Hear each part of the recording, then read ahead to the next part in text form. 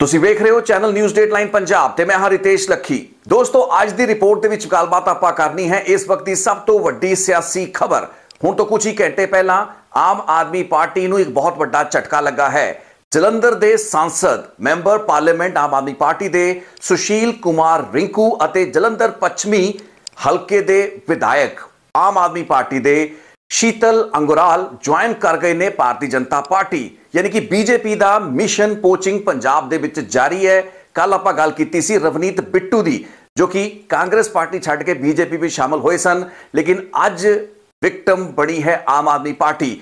ਹਾਲਾਂਕਿ ਆਮ ਆਦਮੀ ਪਾਰਟੀ ਨੂੰ ਝਟਕਾ ਵੱਡਾ ਹੈ, ਉਸ ਦੇ ਨਾਲ ਬੇਵਫਾਈ। ਸਿਆਸੀ ਬੇਵਫਾਈ ਵੀ ਸੁਸ਼ੀਲ ਕੁਮਾਰ ਰਿੰਕੂ ਅਤੇ ਸ਼ੀਤਲ ਅੰਗੁਰਾਲ ਨੇ ਕੀਤੀ ਹੈ, ਲੇਕਿਨ ਕੀ ਵਾਕਈ ਅੱਜ ਆਮ ਆਦਮੀ ਪਾਰਟੀ ਬੇਵਫਾਈ ਦਾ ਰੋਣਾ ਰੋ ਸਕਦੀ ਹੈ, ਕਿਉਂਕਿ ਇਸੇ ਸੁਸ਼ੀਲ ਕੁਮਾਰ ਰਿੰਕੂ ਨੂੰ ਤਾਂ ਪਿਛਲੇ ਸਾਲ ਪਾਰਲੀਮੈਂਟ ਦੀ ਚੋਣ, ਯਾਨੀ ਕਿ ਬਾਈ ਇਲੈਕਸ਼ਨ ਚੌਧਰੀ ਸੰਤੋਖ ਸਿੰਘ ਦੀ ਮੌਤ ਤੋਂ ਬਾਅਦ ਜਿਹੜਾ ਬਾਈ ਇਲੈਕਸ਼ਨ ਜਲੰਧਰ ਦਾ ਹੋਇਆ ਸੀ, ਉਸ ਤੋਂ ਕੁਝ ਦਿਨ ਪਹਿਲਾਂ ਹੀ ਆਮ ਆਦਮੀ ਪਾਰਟੀ ਨੇ ਕਾਂਗਰਸ ਤੋਂ ਤੋੜ ਕੇ ਸੁਸ਼ੀਲ ਕੁਮਾਰ ਰਿੰਕੂ ਨੂੰ ਆਪਣੇ ਖੇਮੇ ਵਿੱਚ ਸ਼ਾਮਲ ਕੀਤਾ, ਪਾਰਟੀ ਦੀ ਟਿਕਟ ਦਿੱਤੀ, ਮੈਂਬਰ ਪਾਰਲੀਮੈਂਟ ਬਣਾਤਾ। ਤਾਂ ਸੁਸ਼ੀਲ ਕੁਮਾਰ ਰਿੰਕੂ, ਜੋ ਕਿ ਕਿਸੇ ਸਮੇਂ ਬੀਐਸਪੀ ਦੇ ਵਿੱਚ ਵੀ ਰਹਿ ਚੁੱਕੇ ਨੇ ਸੁਸ਼ੀਲ ਕੁਮਾਰ ਰਿੰਕੂ, ਜੋ ਕਿ ਕਾਂਗਰਸ ਦੇ ਸਾਲ 2017 ਤੋਂ 22 ਤੱਕ ਵਿਧਾਇਕ ਰਹਿ ਚੁੱਕੇ ਨੇ, ਉਹੀ ਸੁਸ਼ੀਲ ਕੁਮਾਰ ਰਿੰਕੂ ਜਦੋਂ ਚੋਣ ਹਾਰ ਜਾਂਦੇ ਨੇ 2022 ਦੀ, ਕਿਸ ਤੋਂ? ਸ਼ੀਤਲ ਅੰਗਰਾਲ ਤੋਂ, ਜੋ ਕਿ ਆਮ ਆਦਮੀ ਪਾਰਟੀ ਦੀ ਟਿਕਟ ਉੱਤੇ ਇਲੈਕਸ਼ਨ ਲੜਦੇ ਨੇ, ਉਹੀ ਰਿੰਕੂ 1 ਸਾਲ ਤੋਂ ਵੀ ਘੱਟ ਸਮਾਂ ਆਮ ਆਦਮੀ ਪਾਰਟੀ ਦੇ ਸੰਸਦ ਰਹਿਣ ਤੋਂ ਬਾਅਦ ਹੁਣ ਭਾਰਤੀ ਜਨਤਾ ਪਾਰਟੀ ਲਈ ਪੋਸੀਬਲੀ ਇਸੇ ਜਲੰਧਰ ਲੋਕ ਸਭਾ ਹਲਕੇ ਤੋਂ ਚੋਣ ਲੜਨਗੇ। ਸੋ ਦੋਸਤੋ, ਅੱਜ ਦੀ ਰਿਪੋਰਟ ਦਲ ਬਦਲੂਆਂ, ਬੀਜੇਪੀ ਦੇ ਮਿਸ਼ਨ ਪੋਚਿੰਗ ਦੀ ਤਾਂ ਗੱਲ ਕਰੇਗੀ ਹੀ, ਲੇਕਿਨ ਇਹਨਾਂ ਦੋਹਾਂ ਲੀਡਰਾਂ ਦੀ ਵੀ ਗੱਲ ਕਰਾਂਗੇ, ਕਿਉਂਕਿ ਇਹਨਾਂ ਦੋਹਾਂ ਲੀਡਰਾਂ ਦਾ ਸਿਆਸੀ ਪੱਧਰ ਉੱਤੇ ਜਿਸ ਨੂੰ ਆਪਾਂ ਕਹਿੰਦੇ ਪੰਜਾਬੀ ਦੇ ਵਿੱਚ ਇੱਟ ਕੁੱਤੇ ਦਾ ਵੈਰ ਰਿਹਾ ਹੈ, ਜਲੰਧਰ ਪੱਛਮੀ ਹਲਕੇ ਦੇ ਵਿੱਚ। ਸੋ ਇਹ ਕਿਵੇਂ ਸੰਭਵ ਹੋਇਆ ਕਿ ਦੋਵੇਂ ਇੱਕ ਹੀ ਮੰਚ ਤੋਂ ਇੱਕ ਹੀ ਦਿਨ ਭਾਰਤੀ ਜਨਤਾ ਪਾਰਟੀ ਦੇ ਵਿੱਚ ਸ਼ਾਮਲ ਹੋ ਜਾਂਦੇ ਨੇ ਆਮ ਆਦਮੀ ਪਾਰਟੀ ਨੂੰ ਛੱਡ ਕੇ? ਲੇਕਿਨ ਇਸ ਤੋਂ ਪਹਿਲਾਂ ਕਿ ਮੈਂ ਇਸ ਰਿਪੋਰਟ ਨੂੰ ਸ਼ੁਰੂ ਕਰਾਂ, ਮੇਰੀ ਬੇਨਤੀ ਤੁਹਾਨੂੰ ਇਹ ਹੈ ਕਿ ਨਿਊਜ਼ ਡੇਟਲਾਈਨ ਪੰਜਾਬ ਇਸ ਚੈਨਲ ਨੂੰ ਸਬਸਕ੍ਰਾਈਬ ਜ਼ਰੂਰ ਕਰੋ। ਮੇਰੇ ਵੀਡੀਓ ਸਿਆਸੀ, ਇਲੈਕਸ਼ਨ ਨਾਲ ਜੁੜੇ ਹੋਏ ਮਸਲਿਆਂ ਉੱਤੇ ਤੁਸੀਂ ਇਸੇ ਚੈਨਲ ਉੱਤੇ ਵੇਖੋਗੇ। ਆਮ ਆਦਮੀ ਪਾਰਟੀ ਨੂੰ ਜਿਹੜਾ ਸੈਟਬੈਕ ਇਹਨਾਂ ਦੋਹਾਂ ਨੇ ਇੱਕ ਹੀ ਦਿਨ ਬੀਜੇਪੀ ਜੁਆਇਨ ਕਰਕੇ ਦਿੱਤਾ ਹੈ, ਉਹ ਸੈਟਬੈਕ ਜਲੰਧਰ ਲੋਕ ਸਭਾ ਦੇ ਪੱਖੋਂ ਜ਼ਿਆਦਾ ਮਹੱਤਵਪੂਰਨ ਇਸ ਵਾਸਤੇ ਨਹੀਂ ਕਿ ਸੁਸ਼ੀਲ ਕੁਮਾਰ ਰਿੰਕੂ ਆਮ ਆਦਮੀ ਪਾਰਟੀ ਦੇ ਬਾਈ ਇਲੈਕਸ਼ਨ ਦੇ ਵਿੱਚ ਜਿੱਤੇ ਐਮਪੀ ਸਨ, ਬਲਕਿ ਜ਼ਰੂਰੀ ਇਸ ਵਾਸਤੇ ਮਹੱਤਵਪੂਰਨ ਇਸ ਵਾਸਤੇ ਸੀ ਕਿਉਂਕਿ ਇਹਨਾਂ ਦੇ ਬੀਜੇਪੀ ਦੇ ਵਿੱਚ ਜਾਣ ਦੀ ਜਿਹੜੀ ਸੂਹ ਹੈ, ਉਹ ਪਾਰਟੀ ਨੂੰ ਕੁਝ ਹਫ਼ਤੇ ਪਹਿਲਾਂ ਲੱਗ ਚੁੱਕੀ ਸੀ। ਹੁਣ ਸੁਸ਼ੀਲ ਕੁਮਾਰ ਰਿੰਕੂ ਦੇ ਨਾਲ 19 ਮਾਰਚ ਨੂੰ ਮੁੱਖ ਮੰਤਰੀ ਭਗਵੰਤ ਮਾਨ ਇੱਕ ਮੁਲਾਕਾਤ ਵੀ ਕਰਦੇ ਨੇ ਤੇ ਉਸ ਵਕਤ ਦੱਸਿਆ ਜਾਂਦਾ ਸੀ ਕਿ ਬੀਜੇਪੀ ਵਿੱਚ ਉਹਨਾਂ ਦੇ ਜਾਣ ਦੀਆਂ ਸੰਭਾਵਨਾਵਾਂ ਸਨ। ਲੇਕਿਨ ਮੁੱਖ ਮੰਤਰੀ ਦੇ ਨਾਲ ਆਪਣੀ ਗੱਲਬਾਤ ਦੇ ਵਿੱਚ ਰਿੰਕੂ ਨੇ ਆਪਣੇ ਹਲਕੇ ਨੂੰ ਲੈ ਕੇ ਗ੍ਰਾਂਟਾਂ ਜਾਂ ਪਾਰਟੀ ਫੰਡ ਦੀ ਗੱਲ ਕੀਤੀ। ਵੱਡਾ ਮਸਲਾ ਇਹ ਸੀ ਕਿ ਆਮ ਆਦਮੀ ਪਾਰਟੀ ਨੇ ਸੁਸ਼ੀਲ ਕੁਮਾਰ ਰਿੰਕੂ ਨੂੰ ਜਲੰਧਰ ਲੋਕ ਸਭਾ ਹਲਕੇ ਲਈ ਆਪਣਾ ਉਮੀਦਵਾਰ ਪਹਿਲੀ ਜਿਹੜੀ ਉਹਨਾਂ ਦੀ ਸੂਚੀ ਆਂਦੀ ਹੈ, ਉਸ ਦੇ ਵਿੱਚ ਉਮੀਦਵਾਰ ਐਲਾਨਤਾ ਸੀ। ਸੋ ਇਸ ਵਾਸਤੇ ਆਮ ਆਦਮੀ ਪਾਰਟੀ ਦਾ ਇਹ ਝਟਕਾ ਕੋਈ ਸਾਧਾਰਨ ਝਟਕਾ ਨਹੀਂ, ਵੱਡਾ ਝਟਕਾ ਜਿਵੇਂ ਕਾਂਗਰਸ ਤੋਂ ਉਹਨਾਂ ਨੇ ਉਹਨਾਂ ਦਾ ਇੱਕ ਲੀਡਰ ਖੋ ਕੇ ਬਾਈ ਇਲੈਕਸ਼ਨ ਤੋਂ ਪਹਿਲਾਂ ਉਸ ਨੂੰ ਆਪਣੀ ਟਿਕਟ ਦੇ ਕੇ ਮੈਦਾਨ ਵਿੱਚ ਉਤਾਰਤਾ ਤੇ ਜਿੱਤ ਹਾਸਲ ਕਰ ਲਈ। ਉਵੇਂ ਹੀ ਅੱਜ ਆਮ ਆਦਮੀ ਪਾਰਟੀ ਨੂੰ ਹੁਣ ਸੋਚਣਾ ਪਏਗਾ ਕਿ ਜਲੰਧਰ ਲੋਕ ਸਭਾ ਦੇ ਵਿੱਚ ਉਹਨਾਂ ਨੂੰ ਕਿਹੜਾ ਉਮੀਦਵਾਰ ਮਿਲੇਗਾ, ਉਹਨਾਂ ਦਾ ਸਿਆਸੀ ਭਵਿੱਖ ਕੀ ਹੋਏਗਾ। ਲੇਕਿਨ ਇਹ ਦੋਹੇ ਲੀਡਰ, ਯਾਨੀ ਕਿ ਸੁਸ਼ੀਲ ਕੁਮਾਰ ਰਿੰਕੂ ਅਤੇ ਸ਼ੀਤਲ ਅੰਗੁਰਾਲ ਇਹ ਦੋਹੇ ਇੱਕ ਦੂਸਰੇ ਦੇ ਖਿਲਾਫ ਚੋਣ ਲੜਦੇ ਨੇ। ਕਿਹੜੇ ਸਾਲ ਦੇ ਵਿੱਚ? ਸਾਲ 2022 ਦੇ ਵਿੱਚ। ਪੰਜਾਬ ਵਿਧਾਨ ਸਭਾ ਦੀ ਚੋਣ ਹੁੰਦੀ ਹੈ। ਸੁਸ਼ੀਲ ਕੁਮਾਰ ਰਿੰਕੂ ਕਾਂਗਰਸ ਦੇ ਉਮੀਦਵਾਰ ਹੁੰਦੇ ਨੇ। ਇੱਥੇ ਤੁਹਾਨੂੰ ਦੱਸਦਾ ਕਿ 2017 ਦੇ ਵਿੱਚ ਸੁਸ਼ੀਲ ਕੁਮਾਰ ਰਿੰਕੂ ਕਾਂਗਰਸ ਦੀ ਟਿਕਟ ਤੋਂ ਜਿੱਤ ਕੇ ਉਸ ਵਕਤ ਜਦੋਂ ਕਿ ਕੈਪਟਨ ਅਮਰਿੰਦਰ ਸਿੰਘ ਦੀ ਕਾਂਗਰਸ ਦੀ ਸਰਕਾਰ ਪੰਜਾਬ ਦੇ ਵਿੱਚ ਬਣੀ ਸੀ, ਜਲੰਧਰ ਪੱਛਮੀ ਹਲਕੇ ਤੋਂ ਸੀਟ ਜਿੱਤ ਕੇ ਕਾਂਗਰਸ ਦੇ ਵਿਧਾਇਕ ਰਹੇ। 2022 ਦੇ ਵਿੱਚ ਦੁਬਾਰਾ ਆਪਣੀ ਕਿਸਮਤ ਆਜ਼ਮਾਈ। ਲੇਕਿਨ ਕਾਂਗਰਸ ਦੀ ਟਿਕਟ ਦੇ ਉੱਤੇ ਚੋਣ ਲੜ ਰਹੇ ਸੁਸ਼ੀਲ ਕੁਮਾਰ ਰਿੰਕੂ ਦਾ ਸਾਹਮਣਾ 2022 ਦੇ ਵਿੱਚ ਹੁੰਦਾ ਹੈ। ਭਾਰਤੀ ਜਨਤਾ ਪਾਰਟੀ ਤੋਂ ਆਮ ਆਦਮੀ ਪਾਰਟੀ ਦੇ ਵਿੱਚ ਸ਼ਾਮਲ ਹੋਏ ਸ਼ੀਤਲ ਅੰਗੁਰਾਲ ਦੇ ਨਾਲ। ਯਾਨੀ ਕਿ ਉਹੀ ਲੀਡਰ ਜਿਹੜਾ ਕਿ ਅੱਜ ਬੀਜੇਪੀ ਦੇ ਵਿੱਚ ਵਾਪਸ ਸ਼ਾਮਲ ਹੋ ਗਿਆ ਹੈ। ਸੋ ਖੇਮਾ ਬਦਲੀ ਤੇ ਦਲ ਬਦਲੀ ਸੁਸ਼ੀਲ ਕੁਮਾਰ ਰਿੰਕੂ ਉੱਤੇ ਤਾਂ ਲਾਗੂ ਹੁੰਦੀ ਹੈ, ਜੋ ਕਿ ਪਿਛਲੇ ਤਕਰੀਬਨ 2-1 ਸਾਲਾਂ ਦੇ ਵਿੱਚ ਕਾਂਗਰਸ ਤੋਂ ਆਮ ਆਦਮੀ ਪਾਰਟੀ ਤੇ ਆਮ ਆਦਮੀ ਪਾਰਟੀ ਤੋਂ ਬੀਜੇਪੀ ਦੇ ਵਿੱਚ ਜਾ ਜਾ ਕੇ ਦਲ ਬਦਲ ਰਹੇ ਨੇ। ਲੇਕਿਨ ਸ਼ੀਤਲ ਅੰਗੁਰਾਲ ਦੀ ਤਾਂ ਇਹ ਘਰ ਵਾਪਸੀ ਹੈ। ਸੋ 2022 ਦਾ ਵਿਧਾਨ ਸਭਾ ਦਾ ਮੁਕਾਬਲਾ ਸੁਸ਼ੀਲ ਰਿੰਕੂ ਅਤੇ ਸ਼ੀਤਲ ਅੰਗੁਰਾਲ ਦੇ ਵਿੱਚ ਹੁੰਦਾ ਤੇ ਤਕਰੀਬਨ 4000 ਵੋਟਾਂ ਦੇ ਮਾਰਜਨ ਤੋਂ ਜਿੱਤ ਹੁੰਦੀ ਹੈ ਸ਼ੀਤਲ ਅੰਗੁਰਾਲ ਦੀ। ਯਾਨੀ ਕਿ ਸੁਸ਼ੀਲ ਕੁਮਾਰ ਰਿੰਕੂ ਕਾਂਗਰਸ ਦੇ ਉਮੀਦਵਾਰ ਨੂੰ ਹਰਾਤਾ ਜਾਂਦਾ ਹੈ। ਹੁਣ ਜਲੰਧਰ ਪੱਛਮੀ ਯਾਨੀ ਕਿ ਜਲੰਧਰ ਵੈਸਟ ਸੀਟ ਕਾਂਗਰਸ ਤੋਂ ਆਮ ਆਦਮੀ ਪਾਰਟੀ ਦੀ ਝੋਲੀ ਦੇ ਵਿੱਚ ਸ਼ੀਤਲ ਅੰਗੁਰਾਲ ਨੇ ਪਾਤੀ ਹੁੰਦੀ ਹੈ। ਲੇਕਿਨ ਸੁਸ਼ੀਲ ਕੁਮਾਰ ਰਿੰਕੂ ਦੀ ਵਰਤੋਂ ਆਮ ਆਦਮੀ ਪਾਰਟੀ ਕਰਦੀ ਹੈ। ਉਸ ਵਕਤ ਜਦੋਂ ਕਿ ਚੌਧਰੀ ਸੰਤੋਖ ਸਿੰਘ ਦੀ ਮੌਤ, ਜੋ ਕਿ ਭਾਰਤ ਜੋੜੋ ਯਾਤਰਾ, ਰਾਹੁਲ ਗਾਂਧੀ ਦੀ ਭਾਰਤ ਜੋੜੋ ਯਾਤਰਾ, ਉਸ ਦਾ ਜਿਹੜਾ ਪੰਜਾਬ ਲੈਗ ਚੱਲ ਰਿਹਾ ਹੁੰਦਾ ਹੈ, ਦਿਲ ਦਾ ਦੌਰਾ ਪੈਣ ਕਾਰਨ ਚੌਧਰੀ ਸੰਤੋਖ ਦੀ ਮੌਤ ਹੋ ਜਾਂਦੀ ਹੈ ਇਸੇ ਯਾਤਰਾ ਦੌਰਾਨ। ਉਸ ਤੋਂ ਬਾਅਦ ਇੱਕ ਬਾਈ ਇਲੈਕਸ਼ਨ ਹੋਣਾ ਤੈਅ ਹੋ ਜਾਂਦਾ ਹੈ। ਇਸ ਬਾਈ ਇਲੈਕਸ਼ਨ ਦੇ ਵਿੱਚ ਆਮ ਆਦਮੀ ਪਾਰਟੀ ਨੂੰ ਕੋਈ ਸਹੀ ਟੁਕਵਾ ਉਮੀਦਵਾਰ ਨਹੀਂ ਮਿਲ ਰਿਹਾ ਹੁੰਦਾ।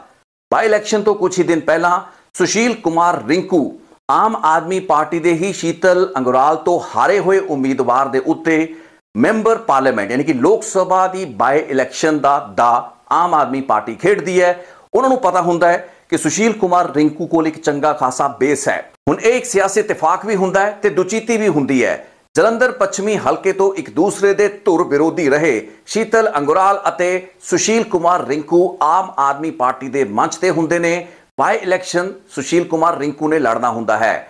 ਪਾਰਟੀ ਦੇ ਵਿੱਚ ਇਹਨਾਂ ਦੋਹਾਂ ਲੀਡਰ ਦੇ ਡਿਫਰੈਂਸਸ ਨੂੰ ਦੂਰ ਕਰਾਉਣ ਲਈ ਬਹੁਤ ਹੀ ਉਪਰਾਲੇ ਕੀਤੇ ਜਾਂਦੇ ਨੇ। ਜਿਸ ਤੋਂ ਬਾਅਦ ਜਦੋਂ ਬਾਈ ਇਲੈਕਸ਼ਨ ਹੁੰਦਾ ਤੇ ਉਸ ਦੇ ਨਤੀਜੇ ਆਉਂਦੇ ਨੇ ਸ਼ੀਤਲ ਅੰਗਰਾਲ ਦੇ ਜਲੰਧਰ ਪੱਛਮੀ ਹਲਕੇ, ਜਿੱਥੇ ਸੁਸ਼ੀਲ ਕੁਮਾਰ ਰਿੰਕੂ ਦਾ ਆਪਣਾ ਵੀ ਬੇਸ ਹੁੰਦਾ ਹੈ। ਉੱਥੇ ਤਕਰੀਬਨ 7400 ਦੀ ਲੀਡ ਇਸ ਵਿਧਾਨ ਸਭਾ ਹਲਕੇ ਦੇ ਵਿੱਚ ਇਸ ਲੋਕ ਸਭਾ ਬਾਈ ਇਲੈਕਸ਼ਨ ਸੀਟ ਉੱਤੇ ਹਾਸਲ ਹੁੰਦੀ ਹੈ ਸੁਸ਼ੀਲ ਰਿੰਕੂ ਨੂੰ। ਤੇ ਸੁਸ਼ੀਲ ਰਿੰਕੂ 58000 ਵੋਟਾਂ ਦੇ ਮਾਰਜਨ ਤੋਂ ਚੌਧਰੀ ਸੰਤੋਖ ਸਿੰਘ ਦੀ ਪਤਨੀ ਕਰਮਜੀਤ ਕੌਰ ਚੌਧਰੀ ਨੂੰ ਹਰਾ ਕੇ ਬਾਈ ਇਲੈਕਸ਼ਨ ਜਿੱਤ ਲੈਂਦੇ ਨੇ। ਭਗਵੰਤ ਮਾਨ ਦੇ ਮੁੱਖ ਮੰਤਰੀ ਬਣਨ ਤੋਂ ਬਾਅਦ ਤੇ ਸੰਗਰੂਰ ਬਾਈ ਇਲੈਕਸ਼ਨ ਲੋਕ ਸਭਾ ਬਾਈ ਇਲੈਕਸ਼ਨ ਹਾਰਨ ਤੋਂ ਬਾਅਦ ਆਮ ਆਦਮੀ ਪਾਰਟੀ ਨੂੰ ਆਪਣਾ ਇਕਲੌਤਾ ਸਾਂਸਦ, ਯਾਨੀ ਕਿ ਐਮਪੀ ਲੋਕ ਸਭਾ ਦੇ ਵਿੱਚ ਸੁਸ਼ੀਲ ਕੁਮਾਰ ਰਿੰਕੂ ਦੀ ਸ਼ਕਲ ਦੇ ਵਿੱਚ ਮਿਲਿਆ। ਸੁਸ਼ੀਲ ਕੁਮਾਰ ਰਿੰਕੂ ਅਤੇ ਸ਼ੀਤਲ ਅੰਗਰਾਲ, ਜੋ ਕਿ ਇੱਕ ਦੂਸਰੇ ਦੇ ਵੈਰੀ ਸਨ, ਸਿਆਸੀ ਪੱਧਰ ਉੱਤੇ ਡਿਫਰੈਂਸਿਸ ਸਨ, ਇਹਨਾਂ ਦੇ ਮਤਭੇਦ ਖਤਮ ਨਹੀਂ ਹੋਏ। ਹਾਲਾਂਕਿ ਸ਼ੀਤਲ ਅੰਗੁਰਾਲ ਇੱਕ ਵਿਵਾਦਿਤ ਕਿਰਦਾਰ ਰਹੇ ਨੇ। ਉਹਨਾਂ ਦੇ ਉੱਤੇ ਪਹਿਲਾਂ ਵੀ ਤਕਰੀਬਨ ਇੱਕ ਦਰਜਨ ਤੋਂ ਵੱਧ ਵੱਖ-ਵੱਖ ਅਪਰਾਧਿਕ ਮਾਮਲੇ ਦਰਜ ਨੇ, ਜਿਨ੍ਹਾਂ ਦੇ ਵਿੱਚੋਂ ਕਈਆਂ ਦੇ ਵਿੱਚ ਉਹਨਾਂ ਨੂੰ ਡਿਸਚਾਰਜ ਐਕਵਿਟ ਕਰਤਾ ਗਿਆ ਹੈ, ਲੇਕਿਨ ਕਈ ਸੀਰੀਅਸ ਮਾਮਲੇ ਅਜੇ ਵੀ ਅਦਾਲਤਾਂ ਦੇ ਵਿੱਚ ਚੱਲਦੇ ਪਏ ਰਹੇ ਨੇ। ਸ਼ੀਤਲ ਅੰਗਰਾਲ ਵੱਲੋਂ ਇਲਜ਼ਾਮ ਪਿਛਲੇ ਸਾਲ 2023 ਅਕਤੂਬਰ ਮਹੀਨੇ ਦੇ ਵਿੱਚ ਲਾਏ ਜਾਂਦੇ ਨੇ ਕਿ ਸੁਸ਼ੀਲ ਕੁਮਾਰ ਰਿੰਕੂ ਐਮਪੀ ਬਣਨ ਤੋਂ ਬਾਅਦ ਉਹਨਾਂ ਦੇ ਕੰਮਕਾਜ ਤੇ ਉਹਨਾਂ ਦੀ ਹਲਕੇ ਦੇ ਵਿੱਚ ਦਖਲ ਦੇ ਰਹੇ ਨੇ। ਤੇ ਦਖਲ ਹੁੰਦਾ ਵੀ ਕਿਉਂ ਨਾ, ਕਿਉਂਕਿ ਸੁਸ਼ੀਲ ਕੁਮਾਰ ਰਿੰਕੂ ਖੁਦ ਇਸ ਇਲਾਕੇ ਦੇ ਵਿਧਾਇਕ ਰਹਿ ਚੁੱਕੇ ਸੀ। ਆਪਣੇ ਇਲਾਕੇ ਦੇ ਵਿੱਚ ਉਹ ਛੇੜਛਾੜ ਕਰਨ ਤੋਂ ਹਟ ਨਹੀਂ ਸੀ ਸਕਦੇ। ਸੋ ਅਕਤੂਬਰ ਮਹੀਨੇ ਦੇ ਵਿੱਚ ਸ਼ੀਤਲ ਅੰਗੁਰਾਲ ਆਪਣੇ ਫੇਸਬੁੱਕ ਪੇਜ ਦੇ ਉੱਤੇ ਲਾਈਵ ਹੋ ਜਾਂਦੇ ਨੇ। ਬਿਨਾ ਸੁਸ਼ੀਲ ਕੁਮਾਰ ਰਿੰਕੂ ਦਾ ਨਾਂ ਲਏ ਉਹਨਾਂ ਵੱਲੋਂ ਤਕਰੀਬਨ ਅੱਧੇ ਘੰਟੇ ਲਾਈਵ ਕੀਤਾ ਜਾਂਦਾ ਤੇ ਉਸ ਦੇ ਵਿੱਚ ਸਾਰੀ ਪੜਾਸ ਕੱਢੀ ਜਾਂਦੀ ਹੈ।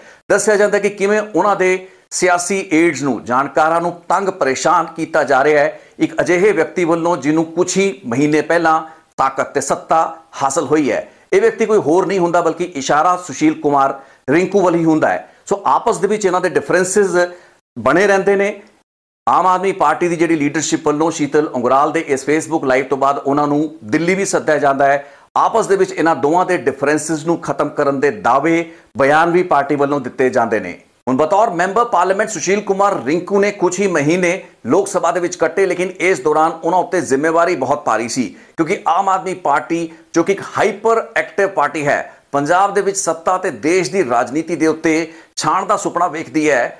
ਲੋਕ ਸਭਾ ਦੇ ਵਿੱਚ ਉਸ ਦੀ ਆਵਾਜ਼ ਬੁਲੰਦ ਕਰਨ ਵਾਲਾ ਸੀ, ਸਿਰਫ ਇੱਕ ਹੀ ਐਮਪੀ ਸੀ। ਸੋ ਜਿੰਨੀ ਵੀ ਸਮਰੱਥਾ ਸੀ, ਉਸ ਮੁਤਾਬਕ ਸੁਸ਼ੀਲ ਕੁਮਾਰ ਰਿੰਕੂ ਨੇ ਆਵਾਜ਼ ਚੁੱਕੀ। ਹੁਣ ਪਿਛਲੇ ਕਈ ਸਾਲਾਂ ਦੌਰਾਨ ਬੈਕ ਟੂ ਬੈਕ ਇਲੈਕਸ਼ਨ ਲੜਦੇ ਆ ਰਹੇ ਰਿੰਕੂ ਵੱਲੋਂ ਆਪਣੀ ਪਾਰਟੀ, ਯਾਨੀ ਕਿ ਆਮ ਆਦਮੀ ਪਾਰਟੀ ਤੋਂ ਸੰਸਦ ਬਣਨ ਤੋਂ ਬਾਅਦ ਫੰਡਿੰਗ ਦੀ ਵੀ ਮੰਗ ਕੀਤੀ ਜਾ ਰਹੀ ਸੀ, ਜਿਸ ਨੂੰ ਕਿ ਉਹਨਾਂ ਨੇ ਪਿਛਲੇ ਹਫ਼ਤੇ ਮੁੱਖ ਮੰਤਰੀ ਭਗਵੰਤ ਮਾਨ ਦੇ ਨਾਲ ਹੋਈ ਆਪਣੀ ਬੈਠਕ ਦੌਰਾਨ ਚੁੱਕਿਆ ਵੀ। ਲੇਕਿਨ ਅੰਦਾਜ਼ਾ ਇਹ ਨਹੀਂ ਸੀ ਕਿ ਟਿਕਟ ਦਾ ਐਲਾਨ ਹੋਣ ਤੋਂ ਬਾਅਦ, ਉਹਨਾਂ ਦੇ ਨਾਂ ਦਾ ਐਲਾਨ ਹੋਣ ਤੋਂ ਬਾਅਦ ਉਹ ਪਾਰਟੀ ਬਦਲਣਗੇ। ਜਿੱਥੇ ਤੱਕ ਗੱਲ ਰਹੀ ਸ਼ੀਤਲ ਅੰਗਰਾਲ ਦੀ, ਮੈਂ ਪਹਿਲਾਂ ਜ਼ਿਕਰ ਕਰ ਚੁੱਕਾ ਹਾਂ। ਸ਼ੀਤਲ ਲਈ ਇਹ ਬੀਜੇਪੀ ਦੇ ਵਿੱਚ ਘਰ ਵਾਪਸੀ ਹੈ। ਆਮ ਆਦਮੀ ਪਾਰਟੀ ਅੱਜ ਇਸ ਚੀਜ਼ ਦਾ ਮੇਣਾ ਨਹੀਂ ਦੇ ਸਕਦੀ। ਇਹ ਗੱਲ ਠੀਕ ਹੈ ਕਿ ਆਮ ਆਦਮੀ ਪਾਰਟੀ ਨੇ ਸੁਸ਼ੀਲ ਕੁਮਾਰ ਰਿੰਕੂ ਦਾ ਪੱਧਰ ਲੈਵਲ ਇੱਕ ਵਿਧਾਇਕ ਤੋਂ ਚੱਕ ਕੇ ਇੱਕ ਸੰਸਦ ਦੇ ਲੈਵਲ ਤੱਕ ਲਗਾਏ। ਇਤਿਹਾਸ ਦੇ ਵਿੱਚ ਇਕਲੌਤੇ ਆਮ ਆਦਮੀ ਪਾਰਟੀ ਦੇ ਸੰਸਦ ਦੇ ਰੂਪ ਵਿੱਚ ਵੀ ਉਹਨਾਂ ਦਾ ਨਾਂ ਲੋਕ ਸਭਾ ਇਤਿਹਾਸ ਵਿੱਚ ਦਰਜ ਹੋਇਆ। ਇੱਕ ਵੱਡਾ ਪਲੇਟਫਾਰਮ ਉਹਨਾਂ ਨੂੰ ਦਿੱਤਾ ਗਿਆ। ਲੇਕਿਨ ਲੈ ਦੇ ਕੇ ਸੁਸ਼ੀਲ ਕੁਮਾਰ, ਰਿੰਕੂ ਕਾਂਗਰਸ ਦੇ ਹੀ ਖੇਮੇ ਚੋਂ ਆਪਣੇ ਨਾਲ ਰਲਾਏ ਗਏ ਸਨ। ਕੁਝ ਇਸੇ ਤਰੀਕੇ ਦਾ ਵਿਸ਼ਵਾਸਘਾਤ ਕਾਂਗਰਸ ਦੇ ਨਾਲ ਵੀ ਚੋਣਾਂ ਤੋਂ ਕੁਝ ਦਿਨ ਪਹਿਲਾਂ ਹੋਇਆ ਸੀ ਤੇ ਉਸੇ ਕਵਾਇਦ ਦੇ ਤਹਿਤ ਸੁਸ਼ੀਲ ਕੁਮਾਰ, ਰਿੰਕੂ ਆਮ ਆਦਮੀ ਪਾਰਟੀ ਦੇ ਵਿੱਚ ਆਏ ਸਨ।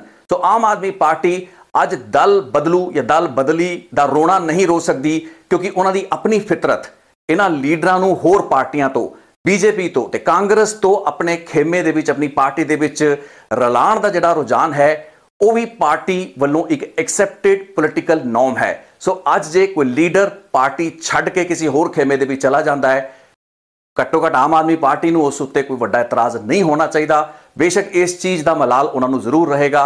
ਕਿ ਜਿਹੜਾ ਲੈਵਲ ਉਹਨਾਂ ਨੇ ਸੁਸ਼ੀਲ ਰਿੰਕੂ ਨੂੰ ਬਖਸ਼ਿਆ, ਦਿੱਤਾ, ਉਹ ਸ਼ਾਇਦ ਲੈਵਲ ਸੁਸ਼ੀਲ ਰਿੰਕੂ ਨਾਰਮਲ ਹਾਲਾਤਾਂ ਦੇ ਵਿੱਚ ਕਿਸੇ ਵੀ ਸਿਆਸੀ ਪਾਰਟੀ ਦੇ ਵਿੱਚ ਰਹਿਣ, ਹਾਸਲ ਨਾ ਕਰ ਪਾਣ। ਦੋਸਤੋ, ਆਮ ਆਦਮੀ ਪਾਰਟੀ ਦੇ ਹੱਥ ਵਿੱਚ ਨਾ ਤਾਂ ਰਿੰਕੂ ਰਿਹਾ ਤੇ ਨਾ ਹੀ ਸ਼ੀਤਲ। ਲੇਕਿਨ ਅੱਜ ਦੀ ਇਸ ਰਿਪੋਰਟ ਨੂੰ ਵਾਈਂਡ ਅਪ ਕਰਨ ਤੋਂ ਪਹਿਲਾਂ ਮੈਂ ਉਸ ਕਾਰਨ ਦਾ ਜ਼ਿਕਰ ਜ਼ਰੂਰ ਕਰਨਾ ਚਾਹਾਂਗਾ। ਸੁਸ਼ੀਲ ਕੁਮਾਰ ਰਿੰਕੂ ਨੇ ਜਦੋਂ ਬੀਜੇਪੀ ਜੁਆਇਨ ਕੀਤੀ, ਉਸ ਵਕਤ ਉਹਨਾਂ ਨੇ ਦੱਸਿਆ, ਕਿਹਾ ਕਿ ਜਲੰਧਰ ਦੇ ਲੋਕਾਂ ਦੇ ਹੱਕ ਤੇ ਉਹਨਾਂ ਦੇ ਭਲੇ ਤੇ ਉਹਨਾਂ ਦੇ ਵਿਕਾਸ ਲਈ ਉਹਨਾਂ ਨੇ ਬੀਜੇਪੀ ਦਾ ਹੱਥ ਫੜਿਆ ਹੈ। ਲੇਕਿਨ ਜਿਹੜਾ ਸ਼ਬਦ ਦਾ ਪ੍ਰਯੋਗ ਰਿੰਕੂ ਨੇ ਕੀਤਾ, ਉਹਨਾਂ ਨੇ ਕਿਹਾ ਕਿ ਇਹ ਇੱਕ ਤਜਰਬਾ ਹੈ। ਮੈਂ ਆਪਣੇ ਆਪ ਦੇ ਨਾਲ ਇੱਕ ਐਕਸਪੈਰੀਮੈਂਟ ਇੱਕ ਤਜਰਬਾ ਕਰਦਾ ਪਿਆ ਹਾਂ। ਸੋ ਸੁਸ਼ੀਲ ਕੁਮਾਰ ਰਿੰਕੂ ਨੂੰ ਉਹਨਾਂ ਦੇ ਸਿਆਸੀ ਤਜਰਬੇ ਮੁਬਾਰਕ ਹੋਣ। ਕਾਂਗਰਸ ਤੋਂ ਆਮ ਆਦਮੀ ਪਾਰਟੀ, ਆਮ ਆਦਮੀ ਪਾਰਟੀ ਤੋਂ ਹੁਣ ਭਾਰਤੀ ਜਨਤਾ ਪਾਰਟੀ। ਇੱਥੇ ਵੇਖਣ ਵਾਲੀ ਗੱਲ ਇਹ ਵੀ ਬਚਦੀ ਹੈ ਕਿ ਸੁਸ਼ੀਲ ਕੁਮਾਰ ਰਿੰਕੂ ਨੂੰ ਤਾਂ ਜੋ ਮਿਲਿਆ, ਸੋ ਮਿਲਿਆ। ਭਾਰਤੀ ਜਨਤਾ ਪਾਰਟੀ ਦੀ ਟਿਕਟ, ਲੋਕ ਸਭਾ ਚੋਣ ਲੜਨ ਦਾ ਇੱਕ ਹੋਰ ਮੌਕਾ। ਲੇਕਿਨ ਸ਼ੀਤਲ ਅੰਗੁਰਾਲ ਨੂੰ ਹੁਣ ਭਾਰਤੀ ਜਨਤਾ ਪਾਰਟੀ ਵਿੱਚ ਜਾ ਕੇ ਕੀ ਮਿਲਦਾ ਹੈ? ਘਰ ਵਾਪਸੀ ਤੋਂ ਇਲਾਵਾ ਕੀ ਕੁਝ ਹੋਰ ਵੀ ਅਜਿਹੀਆਂ ਕੰਸੀਡਰੇਸ਼ਨਸ ਹੈਗੀਆਂ ਨੇ ਜੋ ਕਿ ਇਸ ਐਮਐਲਏ ਇਸ ਵਿਧਾਇਕ ਦੇ ਮਨ ਦੇ ਉੱਤੇ ਹੋ ਸਕਦੀਆਂ ਨੇ? ਇਸ ਦੇ ਪਿੱਛੇ ਦੀ ਕੀ ਕਹਾਣੀ ਹੈ? ਇਸ ਬਾਰੇ ਅਜੇ ਕੁਝ ਪੱਕੇ ਤਰੀਕੇ ਦੇ ਨਾਲ ਨਹੀਂ ਕਿਹਾ ਜਾ ਸਕਦਾ। ਸੋ ਆਉਣ ਵਾਲੇ ਦਿਨਾਂ ਵਿੱਚ ਵੇਖਾਂਗੇ ਕਿ ਸ਼ੀਤਲ ਅੰਗਰਾਲ ਨੂੰ ਕੀ ਜ਼ਿੰਮੇਵਾਰੀ ਜਾਂ ਉਸ ਨੂੰ ਕੀ ਬੀਜੇਪੀ ਵੱਲੋਂ ਆਫਰ ਕੀਤਾ ਜਾਂਦਾ ਹੈ। ਸੋ ਦੋਸਤੋ, ਅੱਜ ਦੀ ਇਹ ਰਿਪੋਰਟ ਇੱਥੇ ਹੀ ਰੋਕਾਂਗੇ। ਤੁਹਾਡੇ ਵੀ ਕੁਝ ਵਿਚਾਰ ਜ਼ਰੂਰ ਹੋਣਗੇ। ਸੁਸ਼ੀਲ ਕੁਮਾਰ ਰਿੰਕੂ ਅਤੇ ਸ਼ੀਤਲ ਅੰਗਰਾਲ ਵੱਲੋਂ ਪਾਰਟੀ, ਦਲ ਬਦਲਣ ਦੀ ਇਸ ਸਿਆਸੀ ਘਟਨਾ ਦੇ ਉੱਤੇ ਤੁਸੀਂ ਜੇ ਕੁਝ ਟਿੱਪਣੀ ਦੇਣਾ ਚਾਹੋ ਤਾਂ ਕਮੈਂਟ ਸੈਕਸ਼ਨ ਦੇ ਵਿੱਚ ਲਿਖ ਸਕਦੇ ਹੋ। ਬਹੁਤ ਬਹੁਤ ਧੰਨਵਾਦ। ਨਿਊਜ਼ ਡੇਟਲਾਈਨ ਪੰਜਾਬ ਇਸ YouTube ਚੈਨਲ ਨੂੰ ਕਾਈਂਡਲੀ ਸਬਸਕ੍ਰਾਈਬ ਜ਼ਰੂਰ ਕਰੋ।